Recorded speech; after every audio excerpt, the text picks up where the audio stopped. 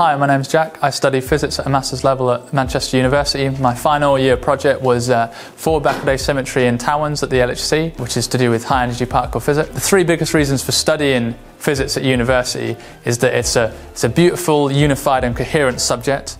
It, you develop into a proper member of the scientific community, and also you gain a genuine understanding of nature. I'm going to go into more detail about those three at the end. I studied physics at the University of Manchester for four years. I did master's degree. What did I love about it? I liked all the, I, lo- I love the practical stuff in particular because you got to apply the theory you learned in your lectures in a lab environment and develop into a proper scientist. But I like the more theoretical side when I was doing the, the, the theoretical modules. I like things like quantum mechanics and the more advanced uh, material to do with gauge theories and things like that, rather than the more applied side like the physics of everyday life module that are available and things like that. Well, the reason I picked it when I was 18 was because I was good at maths and science, and I basically had to pick between engineering, physics, and mathematics.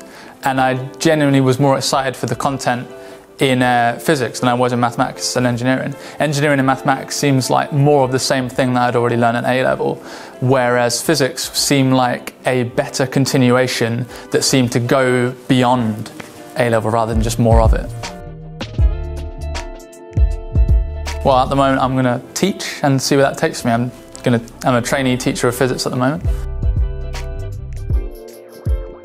Some of them are doing nothing. Some of them are employed at the moment. Some of them are uh, onto uh, doing things with finance and things like that. Quite a few of them.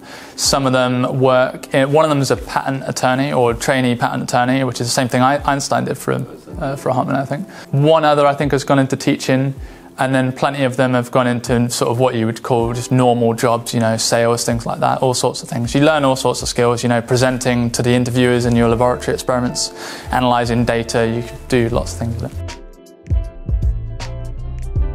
So the main one I would say is that out of all other subjects you could study, it's probably one of the most unified and coherent subjects. You start off with these strands in A level, and even in first year, they're taught as sort of different subjects. You, you've got mechanics, you have electromagnetism, you have things like quantum mechanics, and they're all different subjects. By the time you get to second and third and fourth year, it starts blending into one big thing.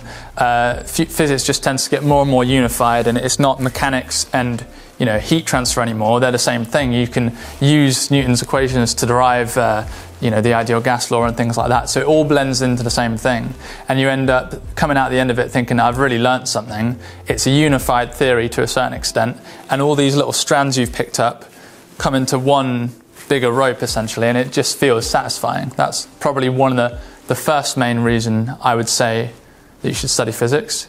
Uh, the second one is sort of a dual reason, and it sort of ties into the first one a little bit. Uh, I'd say it's the combination of gaining a true understanding of nature, or the nature of things in general, which not many other degrees can really do. A lot of them are too specific. You know, in my, in my opinion, it's better to know about everything universally than just one specific thing. Biology talks about life, which is focus. So if you care very much about life, that's interesting. But if you're interested in nature as a whole, not just life, but the nature of everything, physics has got to be the best for that. And uh, like I'm saying, it's, it's some of the equations and that that you learn, the way they link together, it's very satisfying, very beautiful. And I don't think it's all mathematics the way it's beautiful is.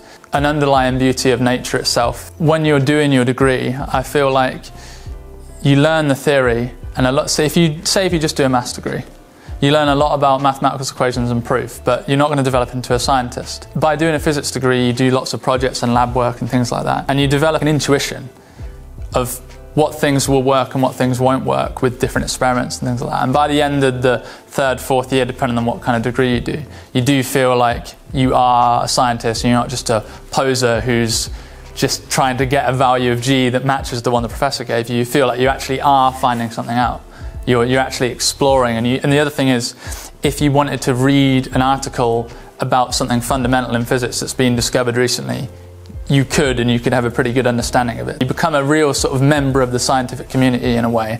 Obviously, you're not a professor or you don't have a doctor or anything like that if you don't pursue it that far, but I still think you could have a conversation with someone and come back afterwards and understand what they're talking about.